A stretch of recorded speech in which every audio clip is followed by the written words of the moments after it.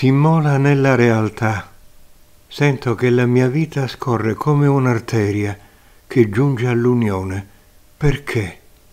Perché la tua singola vita si immola nella realtà, che è un piano indifferenziato di armonia.